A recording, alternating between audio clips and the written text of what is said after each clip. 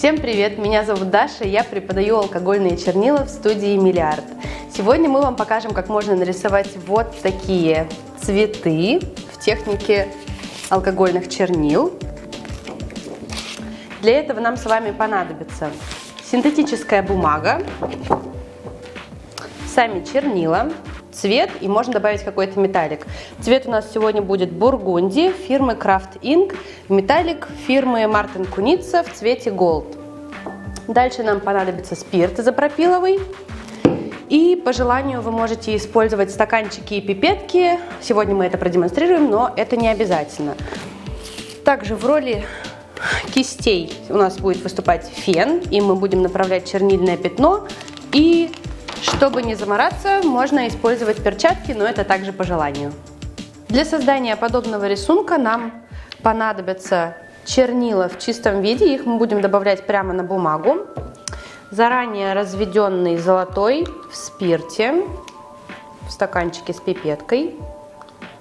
И чистый спирт, за счет которого будут формироваться тонкие переходы на гранях листика, листочка. Итак, чернила мы добавляем непосредственно на бумагу нашу прекрасную. Взбалтываем всегда металлик перед тем, как добавить его на бумагу, потому что он быстро оседает. И немножко простых, э, простого спирта добавляем еще выше, чтобы был чистый переход. И дальше мы будем работать феном в технике плессе, наклоняя немножко лист э, в сторону, которую нам хотелось бы, чтобы чернила наплывали.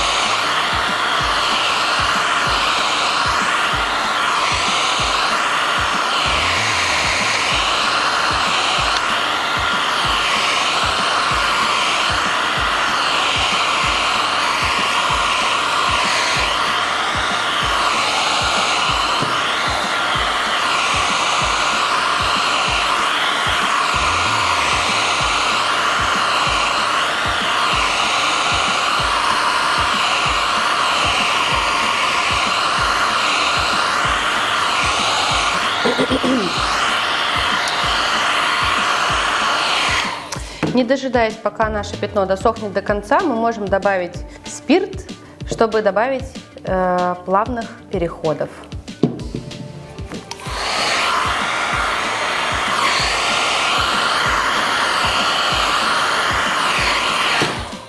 И постепенно мы меняем угол наклона, чтобы у нас формировалась вот такая примерно форма цветочка.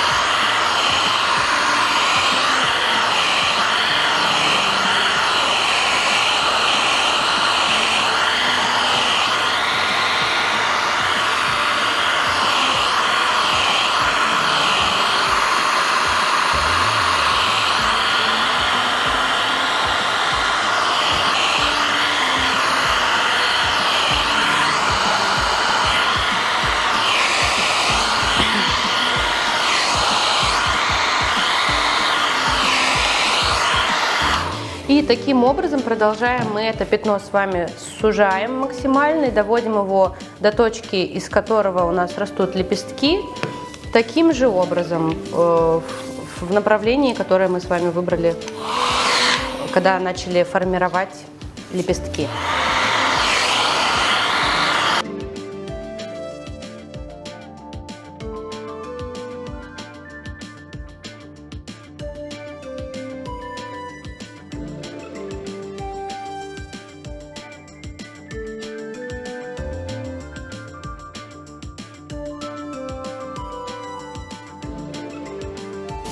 Итак, минимальный этап у нас пройден. Мы можем остановиться как на нем, как вот в этом примере. Тогда у нас все лепестки будут э, строго в одну сторону и нарисовать стебелек. Можно стебелек нарисовать такой экзотичный, можно сделать ровный. Вот здесь видно, что золото добавлялось больше, так что тут тоже все на ваше усмотрение. И по желанию можно добавить больше, можно меньше. Если вы хотите сделать более раскрытый цветок, то тогда стоит добавить такой же рисунок с другой стороны, чтобы они как бы лепестки дополняли друг друга, как вот если мы совместим эти две картинки, будет понятно. Сейчас мы с вами нарисуем стебелек для этого цветочка. Для этого можно взять золотые чернила и тоненькую кисточку Э, можно чернила вылить себе отдельно немножко или прямо со дна собрать, помешать хорошенечко, излишки вытереть о краи баночки, о края баночки и сформировать лепест... э, стебелек.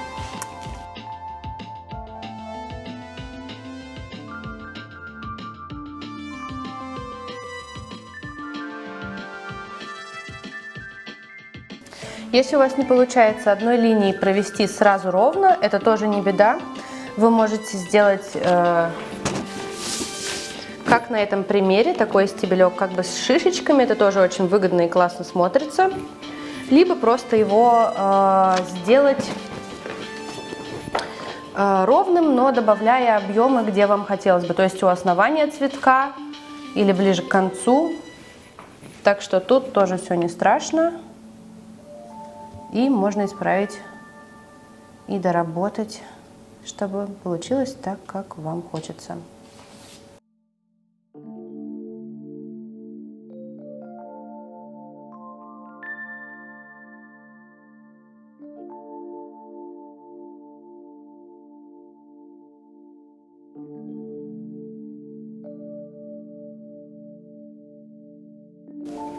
И таким образом вы можете уводить стебелек как за пределы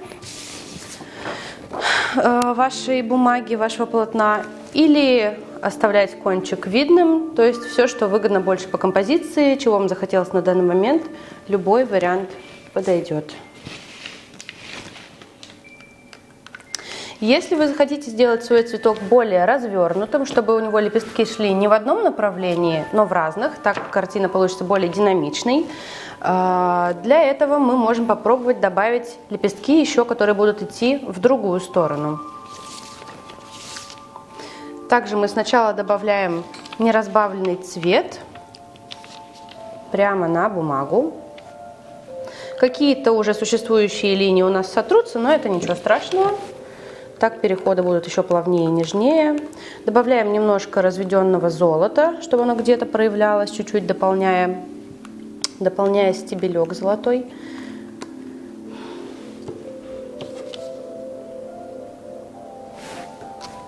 И чистый спирт для более плавных переходов.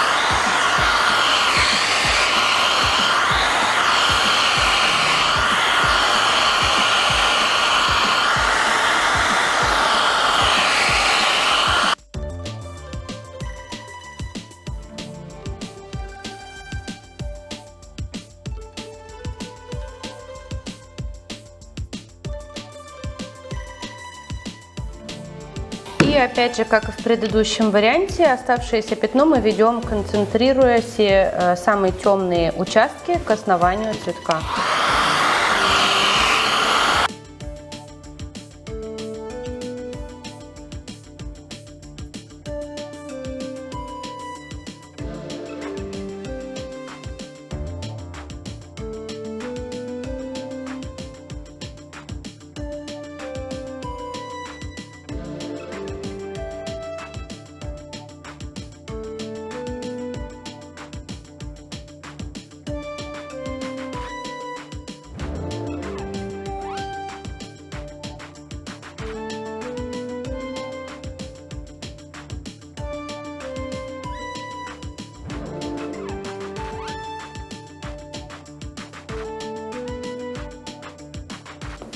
На этом наша работа с вами сегодня закончена. Мы получили такой прекрасный нежный цветок, который будет вам напоминать о лете, о весне и о теплой погоде. А, цветок абстрактный, поэтому не обязательно его причислять к розе или тюльпану. В любом случае это будет что-то очень нежное приятное, что будет радовать вас или людей, которым вы это подарите.